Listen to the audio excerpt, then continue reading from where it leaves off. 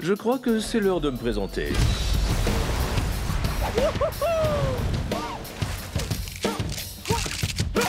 Glenn Sterling.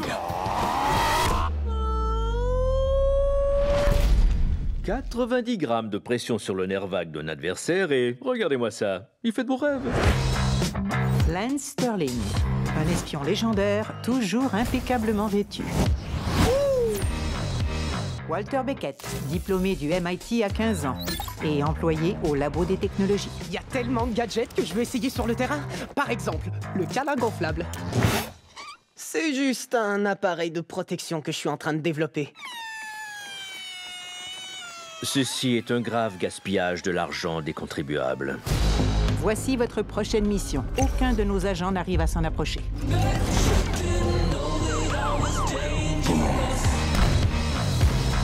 J'ai ce qu'il vous faut. Ça s'appelle de la dissimulation biodynamique. Imaginez que je puisse vous faire disparaître.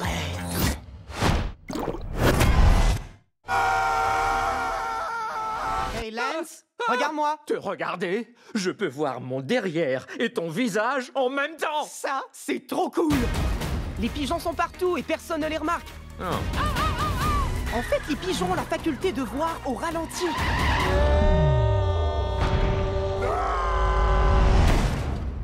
C'était génial Est-ce que l'un de vous a aussi vu un, un pigeon?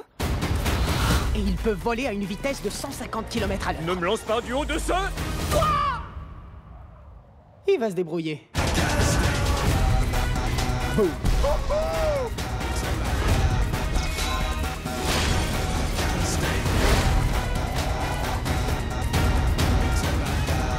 À nous deux, Kimura. Sterling Ce sera pas beau à voir. Bonne nuit, faites bons rêves.